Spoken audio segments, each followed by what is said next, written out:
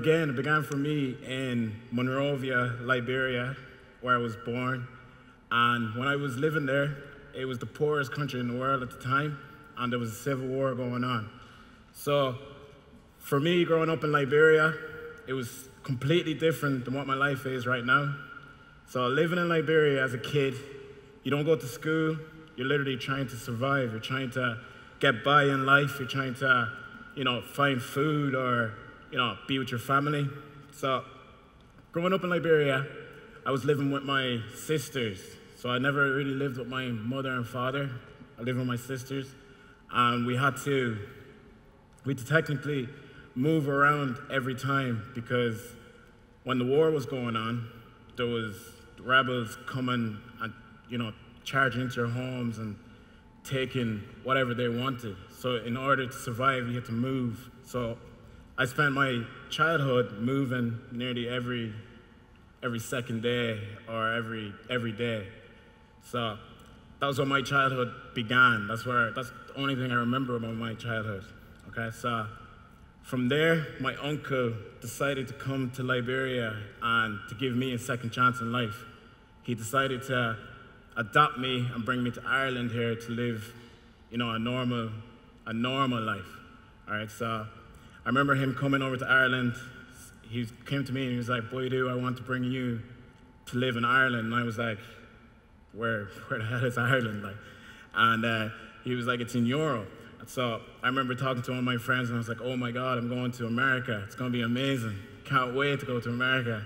So I remember telling all my friends, everyone, that I was going to America. I'm going to go live in America. And then he was like, no, where? He was like, no, you're not going to America. You're going to Europe. But as a kid in Liberia, there's only two places you know growing up, which is Africa and America. Even though we support all the Premier League teams, we all, all we think is they're all in America. So I remember him bringing me, telling me we're going. He got me new runners, new shoes, new clothes. The first time I ever had anything new on me and he decided to, he bought me a passport, he brought me everything, and he put me on an airplane for the very first time. And fond memory I have was him giving me a jacket and saying, You're going to need this jacket going to Ireland. And I was like, Why, why would I need a jacket? It's 30 plus degrees outside. He's like, You're going to need this jacket. So in the airplane, I remember walking out into the airplane and hitting the fresh Irish cold. It's absolutely freezing. And uh, you know, my lips all chapped. I was nearly crying with the cold.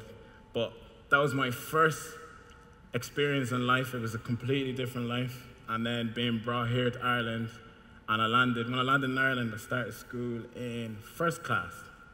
So he put me in first class, and sure, I had to learn everything new. I had to learn proper English, had to learn how to get on with, had, had to learn to appreciate different people. I've never seen a white person before. I never seen white teachers. I never even been to school, so I had to experience everything very new. So anyway, remember starting the first class, and he and uh, the teacher. I remember sitting in class, and the teacher was like, "It was snowing. It was like February, I think. It was February. I don't know. It was on my birth, February 18th, and it was snowing outside.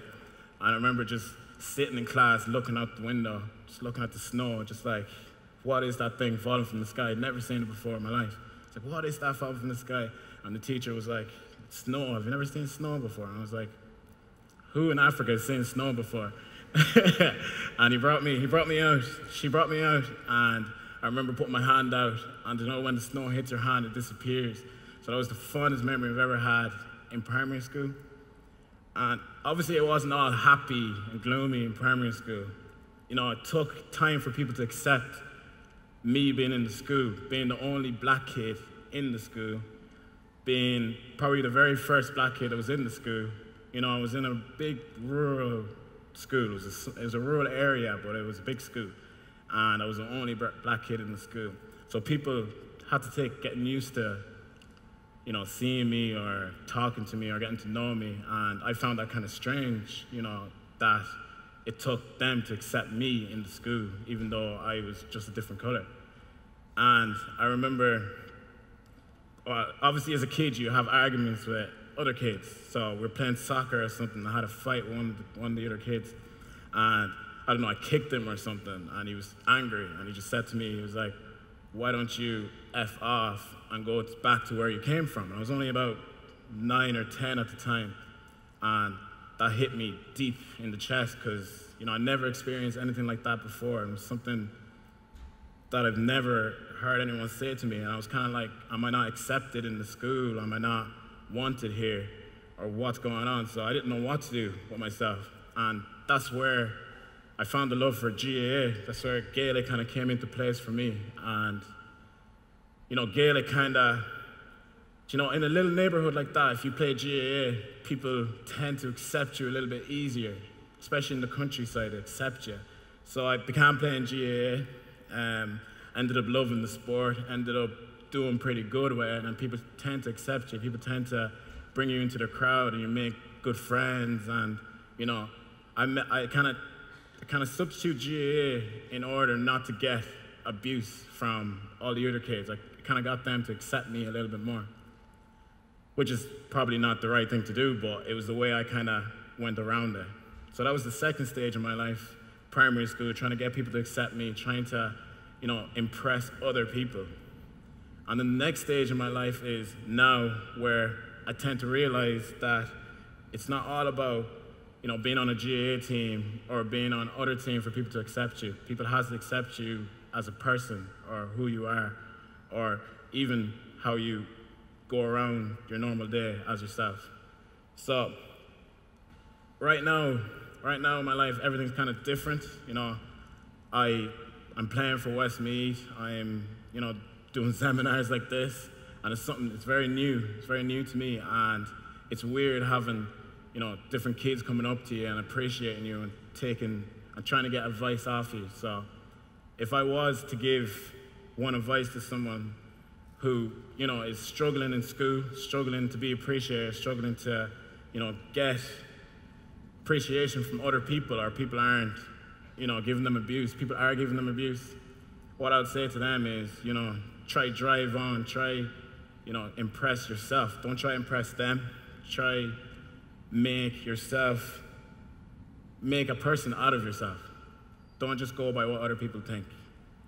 So I remember a little kid email, uh, messaged me on Instagram and he was like, oh, there's these kids kind of bullying me or whatever, and the only way I can act up is by fighting with them or by arguing with them or, you know, or, you know, defending myself by calling them names as well. And I was like, why do you have to stoop on their level in order for them to respect you? And he was like, That's just the way it has to be. And I was like, No, it doesn't have to be like that. You know, try and drive yourself on. Try not to mind them. Try to brush them away from what they're trying to say to you. So live your own life. So that's the only advice I'll try to give to people who are struggling with that at the moment. And it's an honor speaking here. I'd like to say a big thank you to everyone for listening. Thanks, man.